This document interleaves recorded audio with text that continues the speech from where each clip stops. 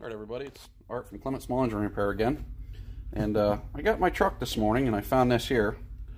Um, I, I, immediately knew who it was. It was a buddy of mine, Denny's, and he wanted me to get this uh, gear that has like a six-sided hex on the inside of it to fit on this. And it was much larger. Uh, this is the shaft. And I said, well, I can't broach out, you know, like cut out a six side on the on the inside of that gear, and I certainly don't want to fly cut this. I said, "Where's your original shaft?" And I'll show that to you. He goes, "Well, here it is." I said, "Well, what's wrong with it?" And he said, "This is all wore down." And obviously, you can see it's it's quite worn down. So I said it'd be a whole lot easier to measure this because we know this is the right size. This six-sided shaft is actually smaller, and if we did that, we could measure this, know that this is the right size, because this is the, the, the gear that goes on it. And instead of having to fly cut both sides, or all six sides of that down, which I probably wouldn't even really be able to hold properly, we could just turn this down, and I could weld it with a MIG welder, and then uh, resize it on a lathe, and set it all up. So, here's what I did. Took some measurements of it, and uh, I'm going to start cutting and grinding and welding, so get ready. I'll, uh, I'll bring you through this little short video. Not to mention it's been a while. I've wanted to put a video up, so let me show you how I uh, cob stuff on the cheap. All right, so I got this set up in between centers. This is the area that we have to turn down. Um, I kind of did a little test cut. Uh, it looks hardened. Well, we're about to find out, so let's make a little cut here. It's not too bad.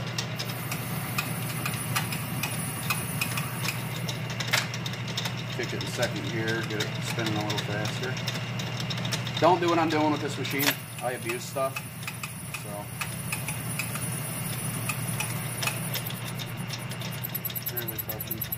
Probably throw it in second gear. See, this probably got hardened too when the bearings got went bad because it was uh, dealing with a lot of heat. Alright, so now that you see how you cut it, I'll show you what it looks like when I get done.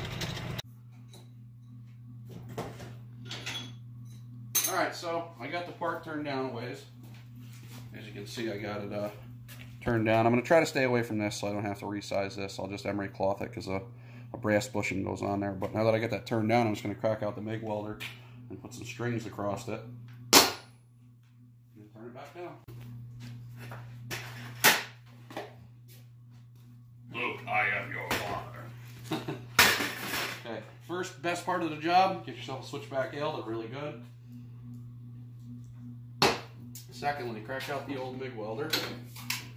If this was like a uh, real precision job, I would probably use the TIG welder, but since we're right in the middle of snowblower season, this happens to be for a snowblower and it's an extracurricular activity, might as well just bang it out real quick with the MIG. Let's do this.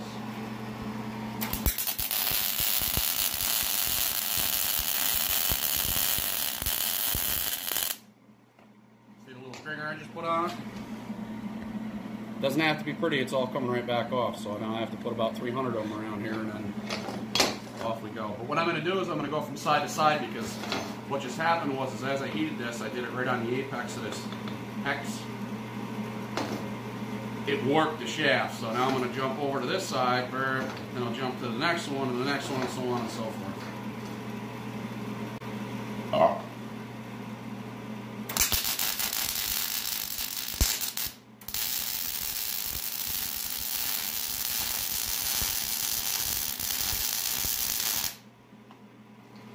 Right. That one wasn't straight.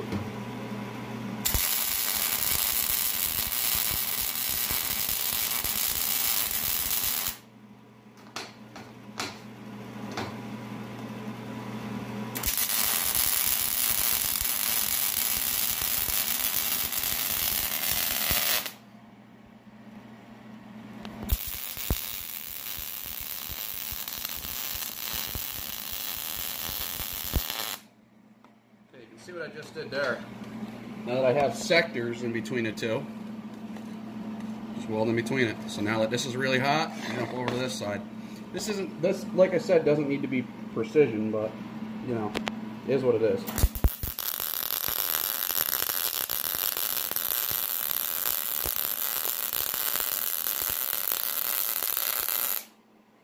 Fun of my welds all you want to. This, like I said, is just, this is just adding material on. That's all that matters about this.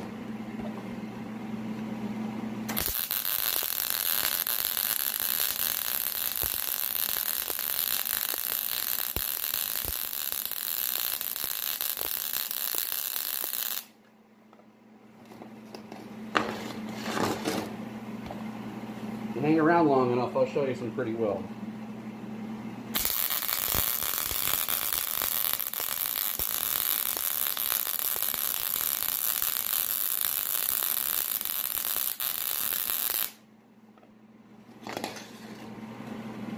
I'm just going through and see there's a low spot right here. I'll add some material in there. Come on, a little darkening helmet. There we go. What I would think is a low spot right here. I'll add a little material. Come on, auto darkener. That was a terrible start to hear it. this is just a chicken, a chicken shit farmer's weld fix. Doesn't have to be perfect. Now see these high spots right here. I'll take this over to the bench grinder and I'll knock all these high spots down. And I think I'm really close to the dimension I need to be with this material added on. You can see it's sugar enough. I don't even know what this material is. You know, I don't know if it's mild steel, if it's uh, mild steel that's been hardened. I don't have a clue. So, this is just literally to add material. All right, to the grinder.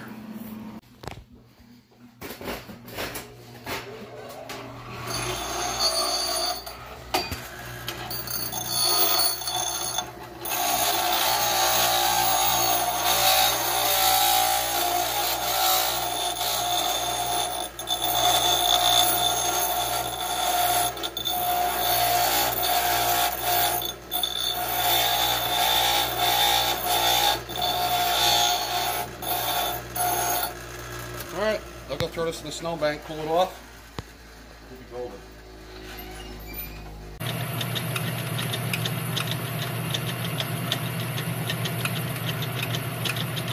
These squirrels.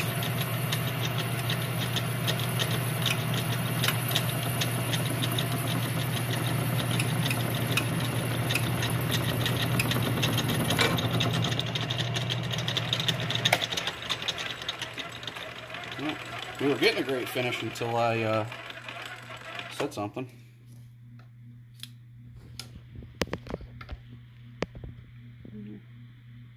Just a little bit more. We're going to come into a problem with that right there, I have a feeling. In those spots right there. Because I believe the bearing rides really far on here. But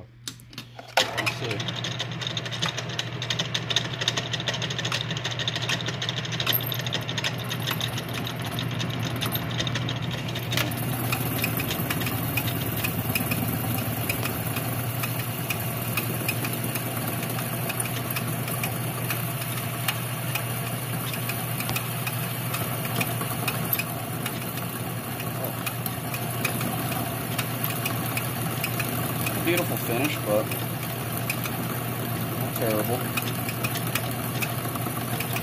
Gonna let me crawl and clean up.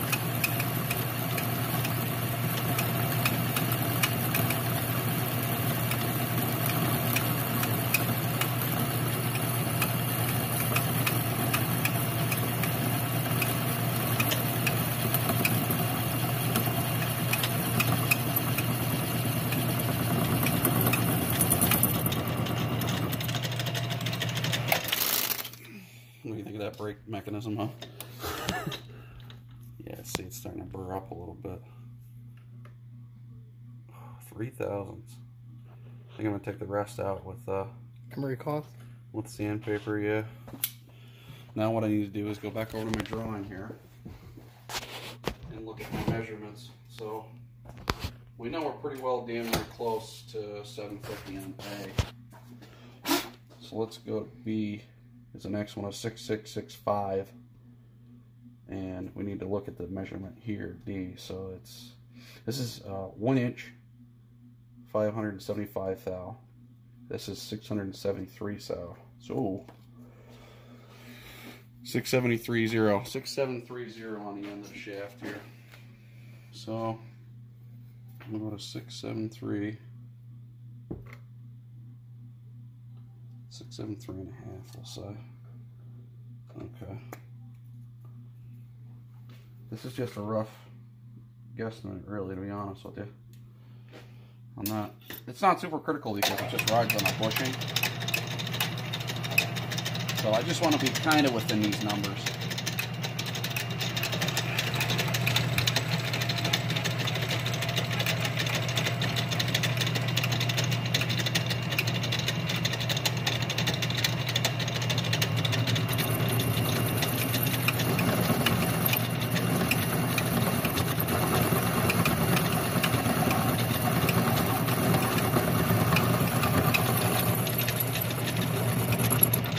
Now we're an issue already.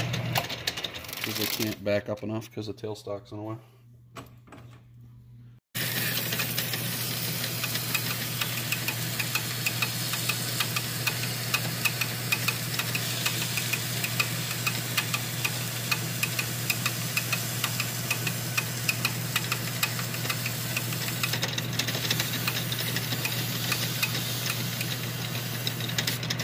Got some wobbly in her in the end there, huh? Good thing it doesn't turn more than. 100 RPMs. I don't even think it does. This is the drive shaft for the. Oh shit, no, but so this is, And this is the big end of the drive shaft for the oh, thing. so this is my like, Barely moving. yeah.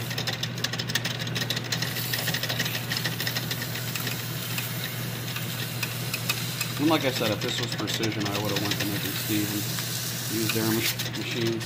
Yeehaw! Got that on camera. Yeah. No more being a jerk, alright? I'm rushing it, you know what I mean?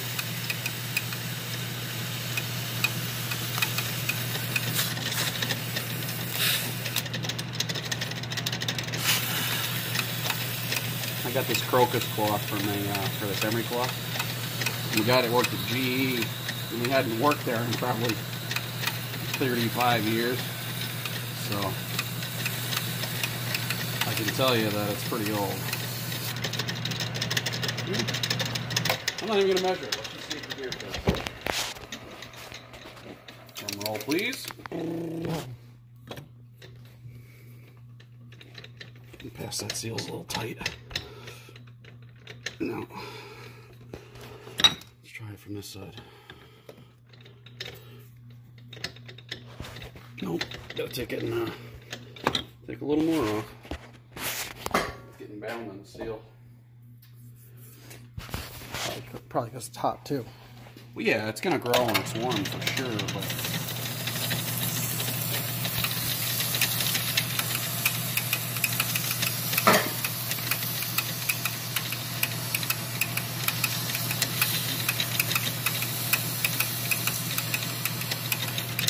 it is hotter than the piston. Told you. I think steel grows. Steel grows